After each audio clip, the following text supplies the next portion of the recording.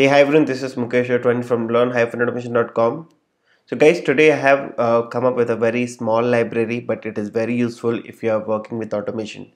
So this library is, is called as Faker library. As the name says Faker, it will create some fake data for you. So in case if you're working with some applications where you need some dynamic data every time and you don't want to give static data and uh, you want every time a unique data okay. In that case you can use this library. It's very straightforward and it will give you a very varieties of data which you can use for your automated test. Even if you want to work with you know different projects not only for automation any other project which needs some kind of test data you can use this library. So i'm going to show you how you can use this faker library. As i told it's very small library but very useful so just navigate to this particular url i will give you the link in the description. You just need to add one dependency. If you're working with uh, maven in case if you're working with gradle just go ahead and add this dependency. Only one line of code and you can get your test data ready. You just need to create one object of faker class and you can get the complete data. Okay so you can see they have shown how to create fake uh, first name last name full name and if you need you know a different type of data I will show you all this. So this is the demo application which they have provided. So so this is hosted on Heroku app. So you will see every time when I refresh the page you will see the different test data. As of now you can see this is the first name last name all these details. The moment I refresh you can see test data changes so this is one sample Spring Boot application which they have created to showcases how this Faker library works. And if you see this is the documentation. Documentation also very straightforward. These are the four packages they have and these are the classes. So depends on your requirement what kind of data you need. You just need to call these classes and you can use the or you can get the test data. So you can see if you need the addresses then for addresses they have different class and if you need the country then for country they have a different class. Say for country you can get the capital country code currency flag everything. Apart from that if you just open any other class you will get the respective classes and the constructor which you can use. And uh, if you want the test data in different languages so you can see you can also change the locale. So in spite of simply creating the faker class object. In the constructor you can also pass the locale of your choice. So by default it is taking English.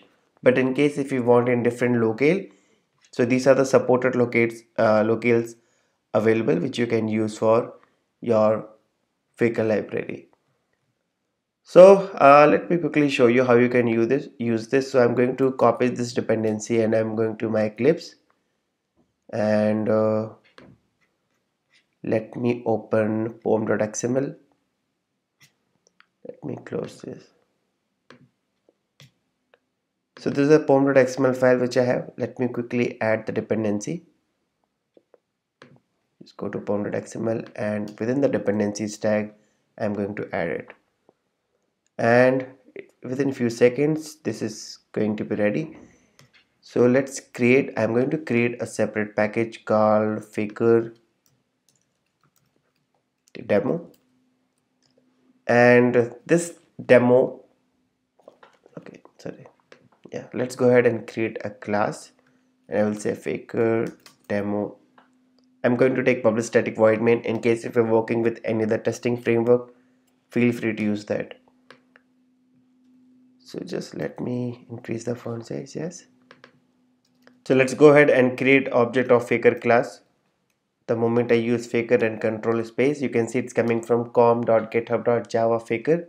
Let's create object I will say fake equal to new faker. So you can see it is giving you multiple constructor. So it has constructor with locale with random values and combination of both. So guys this concept is known as constructor overloading in Java. So as of now I'm going to use the default constructor and whatever data you need you can directly use it so let's say I need address.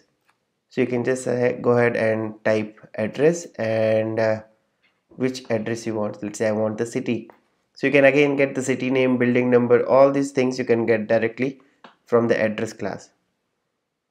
Okay so I'm going to get let's say city. So the moment you put mouse over you can see it is going to return a string. So you can store this in a variable called city and uh, you can just see what it is printing. So I'm going to print the city. And let's say in the next fake data I'm going to get fake dot country dot let's say currency. Any fake country and fake currencies.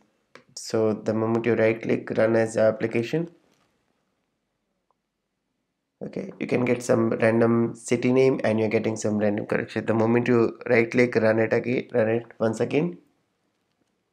And you can see each time it will keep changing and we'll get a different set of data. I know it's very small video and very small library but very useful. Recently I've used for a couple of a project and it works amazingly. So I hope you will use this library in your project. If you like this video share with your friends subscribe to my channel and I will see you in the next video. Have a nice day. Bye bye